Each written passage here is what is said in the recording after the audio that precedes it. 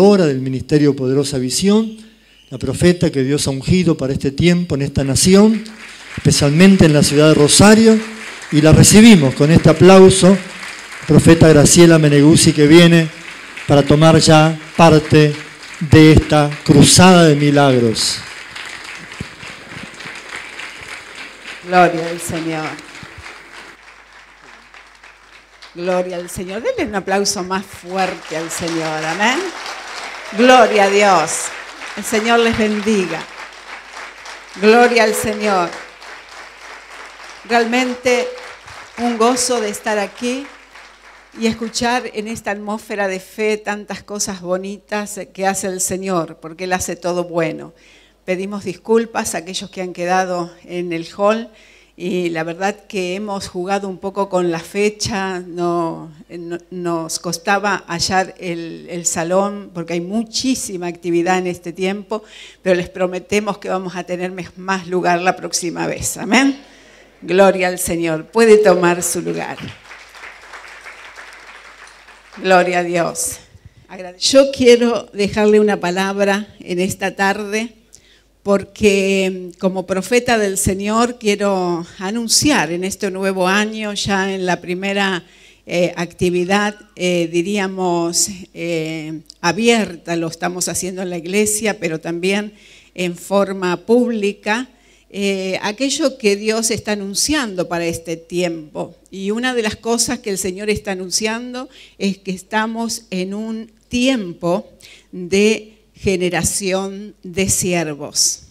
Un tiempo de generación de siervos. Y no se preocupe que yo le voy a explicar algunas cosas esta noche y usted se va a poder llevar la palabra bastante, diríamos, explicada, pero yo confío que el Espíritu Santo le va a ir revelando aún más. Vio que hay tiempos y modas y también para la iglesia alcanza todo eso. Y muchas veces nos quedamos en, épocas anteriores o nos quedamos en olas anteriores. La ola pasó, se fue y nosotros estamos queriendo surfear en una ola que ya no existe. Sabe que lo peor que nos puede pasar como pueblo de Dios es no entender los tiempos. Por eso es tan importante que podamos comprender que este, por ejemplo, no es un tiempo de frases hechas, de chicle, de situaciones que a veces quería, eh, diríamos, mostrar eh, un mensaje completo. No, ya se terminó esa época. Hoy no estamos en una época donde, bueno, eh, estamos diciendo máximas o cosas que puedan impactar. Hoy se está hablando de relación. Hoy se está hablando de relación. Por eso es tan importante que podamos comprender que estamos en una época donde Dios va a marcar los siervos, pero con relación. La relación en este tiempo va a ser muy importante de usted y yo con el Espíritu Santo, pero también con los demás siervos, también con la iglesia, también con los padres espirituales. Y eso es una, una cosa que va a marcar esta época.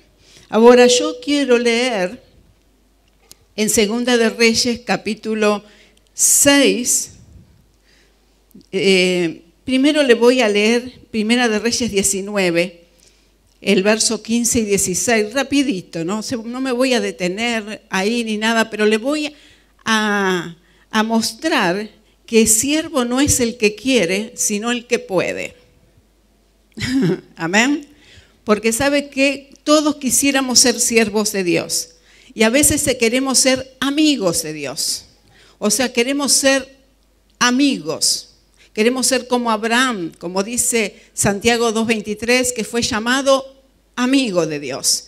Pero no podemos comenzar siendo amigos si no somos siervos de Dios. Así que es tan importante porque hay una, eh, yo lo veo de esta manera, en el espíritu hay una generación que se colgó de la otra sin eh, realmente tener la capacidad, o sea, eh, yo podría decir, la responsabilidad de haber creado en esa, en esa generación una dependencia de Dios. Entonces es como que queremos ser amigos nada más que porque queremos serlo, pero no podemos ser amigos de Dios si no comenzamos con ser siervos. Y hermanos, yo sé que usted ha venido con una necesidad, hemos eh, anunciado esta actividad como una explosión de milagros, pero sabe que la, eh, la palabra de Dios, cuando se está exponiendo como en este momento, porque siento que usted está pensando eso, usted ya está en la atmósfera de milagros. Usted mientras está absorbiendo la palabra, esa palabra ungida, le va a ir proveyendo a su corazón, a su espíritu, y usted va a ir teniendo, como va a ir teniendo eh, esa fortaleza y esa inspiración y ese toque del espíritu que va a provocar el cambio. Así que no se, no, no, no se me apure, no, eh, no, no tenga la urgencia. Dice que Elías fue hablado por Dios en Primera de Reyes 19:15 y dice, y le dijo Jehová, ve, vuélvete por tu camino por el desierto de Damasco y llegarás y ungirás a Sael por rey de Siria, a Jehú, hijo de Ninse, ungirás por rey sobre Israel, y a Eliseo, hijo de Zafat, de Abel Meola, ungirás para que sea profeta en tu lugar. ¿Qué es lo que rescato de aquí? Y a Eliseo, a Eliseo, hijo de Zafat, ungirás para que sea profeta en tu lugar. ¿Y sabe qué sucedió con Eliseo en relación con Elías? Lo sirvió. Fue siervo, pero ya estaba destinado a ser profeta. Hermano, nosotros tenemos que buscar que Dios nos vea con la capacidad. Dice que Él anda buscando el corazón de un siervo. Dice, Dios se ha buscado a alguien conforme a su corazón cuando levantó a David, cuando desechó a Saúl. Y cuando Dios nos encuentra con ese corazón de siervo, con ese corazón para servirlo a Él, Él nos unge. Amén. ¿Cuántos quieren unción esta noche? Él necesita su corazón. Él necesita que usted le entregue su corazón. Ahora, Eliseo tuvo un siervo que la verdad eh, demostró que no quería ser amigo de Dios. Y yo voy a leer varios versículos aquí en el capítulo 5, Segunda de Reyes 5, 25. Cuando Eliseo sana la lepra de Naamán, un sirio, en ese momento él no acepta un don de parte de Naamán. Él no acepta los regalos que el sirio le llevaba, y eran muchos, y eran buenos. Pero el siervo que estaba con él salió detrás de Eliseo a buscar a ese sirio Namán. ¿Para qué? Para pedirle lo que Eliseo el profeta no quería recibir. No porque no podamos recibir dones. Si tiene un regalo, yo se lo recibo. Pero vamos a ver aquí, algunos no se sonríen, vamos, eh, no, tampoco le estoy pidiendo, dice, vamos a ver aquí que no es que no se pueda recibir, sino que no era tiempo. Pero dice Segunda de Reyes 5:25, y él entró y se puso delante de su señor, el siervo, Giesi, que le servía a Eliseo, y, Eliseo le dijo, ¿de dónde vienes, Giesi? Y él le dijo, tu siervo no ha ido a ninguna parte. Pero a mí me llamó la atención esto, ¿de dónde vienes, Giesi? Y así yo le puse de nombre a este mensaje. ¿De dónde vienes, Giesi? Bueno, sabemos que Eliseo venía del corazón de Dios para ser profeta en lugar de Elías. De ahí venía Eliseo y le sirvió fielmente. Es más, Eliseo, le decía, no, eh, eh, Elías le decía, no, quédate, que Dios me ha llevado al Jordán, que Dios me ha llevado a Betel, que Dios me ha llevado, me lleva a Jericó. Y Eliseo le decía, no, no, yo vive Jehová, vive tu alma, que no te dejaré. O sea, Elías completa, continuamente le estaba probando la carne a Eliseo y sin embargo Eliseo siempre estaba para servirlo. Ahora Giesi, que no había sido llamado a ser un profeta, cayó rápidamente en aquello que yo llamo las artimañas de esta época. Esta es una época donde si usted ve el, estado social que se ha deteriorado tanto, eh, el clima social que se levanta, eh, que se enardece, situaciones sociales donde no se habla más que de corrupción, no se habla más que de traición, es todo eso ha llegado mucho también a la iglesia. Y eso ha provocado, si no el descrédito, por lo menos la suspicacia. Y, muchos también que han caído en esas cosas de la búsqueda de la avaricia o de la fama o del poder. Pero es hora, y el Espíritu Santo me ha hablado, por eso le traigo esta palabra y tómela como quien se la dice, un profeta de Dios. Es tiempo de volver a ser siervos.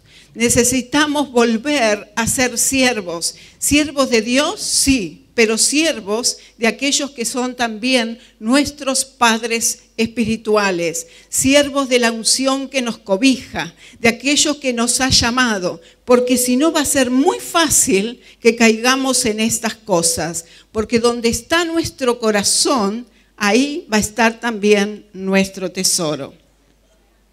Esta época es muy, muy especial porque se han ido perdiendo, ¿verdad? Los valores y necesitamos como cristianos hacer la diferencia. Ahora, ¿cómo vamos a hacer la diferencia eh, siendo cristianos? Vamos a hacer la diferencia si nos volvemos siervos del Señor. Y aquí sí, le voy a leer desde el verso 20 en este capítulo 5 de Segunda de Reyes. Dice entonces y criado de Eliseo, el varón de Dios, dijo así, dice, he aquí mi señor estorbó a este sirio Namán, no tomando de su mano las cosas que había traído, vive Jehová que correré yo tras él y tomaré de él alguna cosa. Qué osadía, ¿verdad? Dice, y siguió Yeise a Namán, y cuando vio Namán que venía corriendo tras él, se bajó del carro para recibirle, y dijo, ¿va todo bien? Y él dijo, bien. Y él dijo, bien, mi Señor me envía a decirte, primero va a buscar los dones que Eliseo no quiso recibir. Segunda cosa, le miente al sirio diciendo que lo enviaba el profeta. Mm. Dice, y aquí vinieron a mí en esta hora, dice, mi Señor te envía a decirte, he aquí vinieron a mí en esta hora del monte de Efraín dos jóvenes de los hijos de los profetas, ya involucró a otros. ¿Sabe que cuando usted comienza a irse ya no le interesa, ya cae la, la vecina, el vecino y si viene alguien de visita también? Y esa es la situación y mucha situación que se vive hoy en día se vive de esta manera. Dice, mi Señor me envió a decirte, cosa que no era. Vinieron, dice, jóvenes de los hijos de los profetas, o sea, te ruego que le des un talento de plata y dos vestidos nuevos, o sea, puso precio.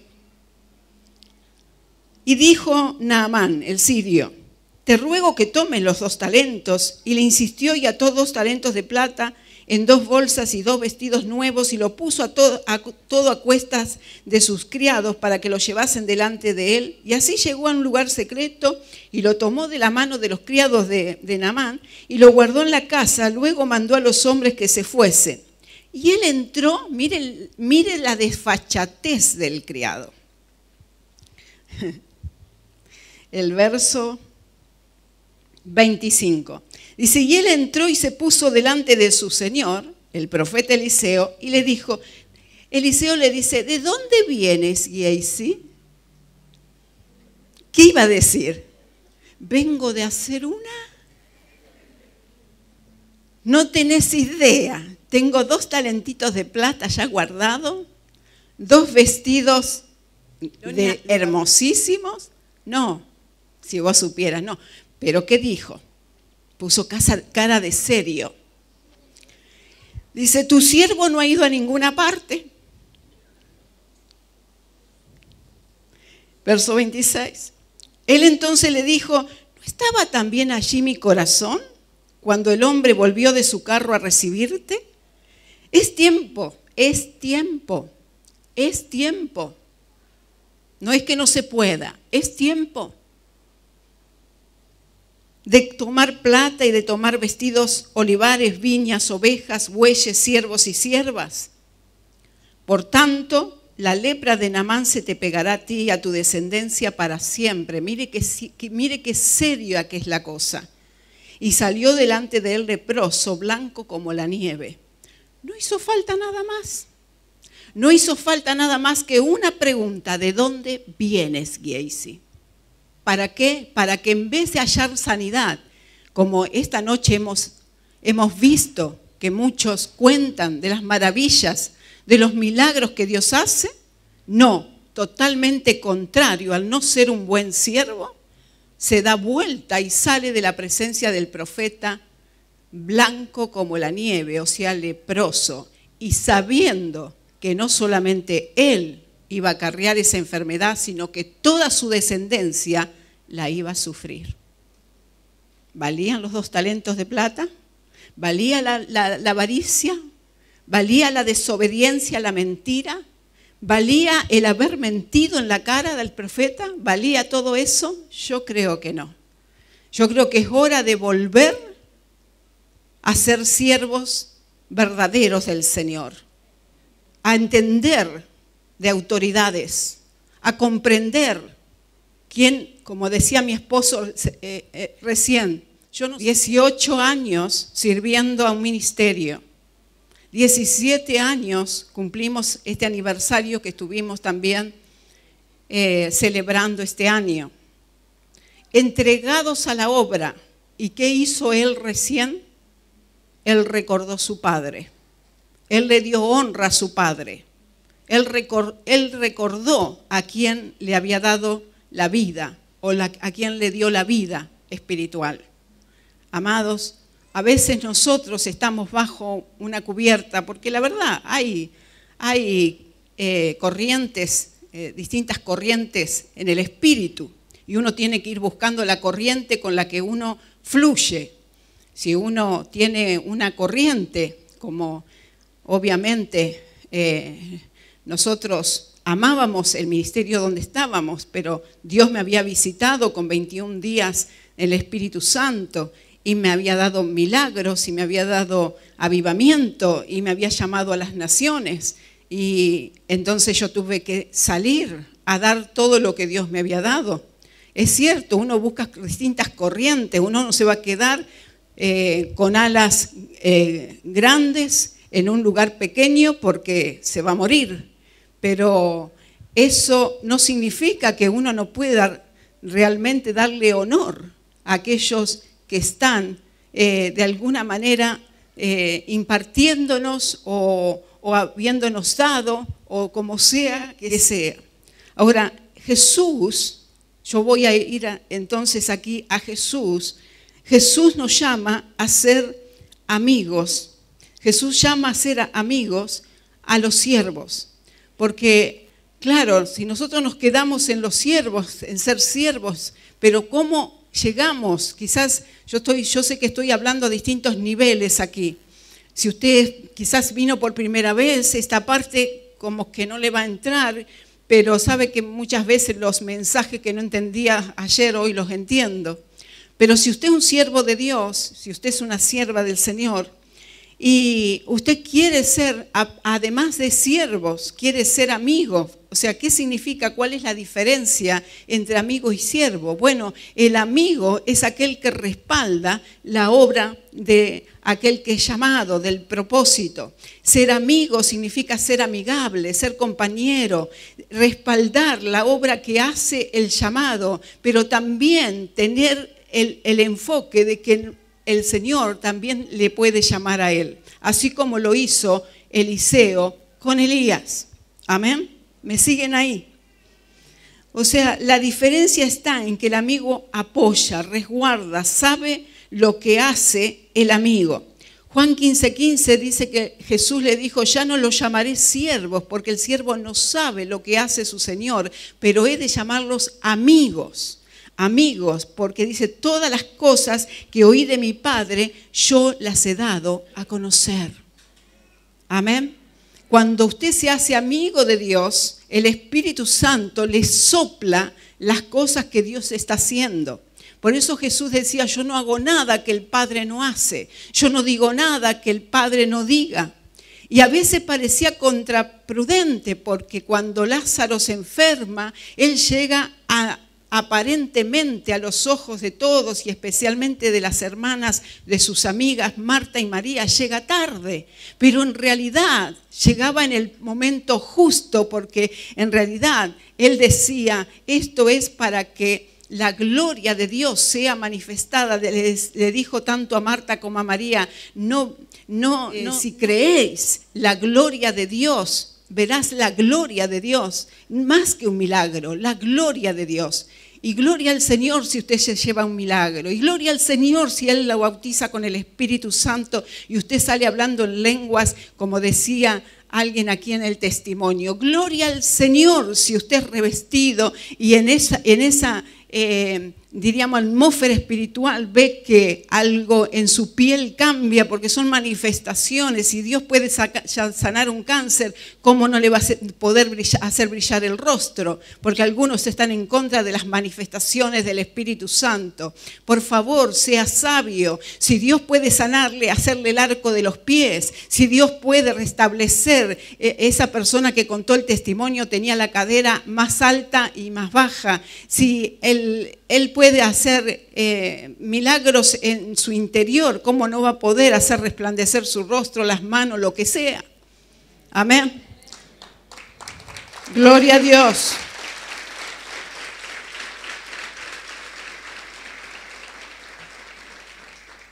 Ahora sabe que el siervo es el que transmite vida. Un verdadero siervo transmite vida.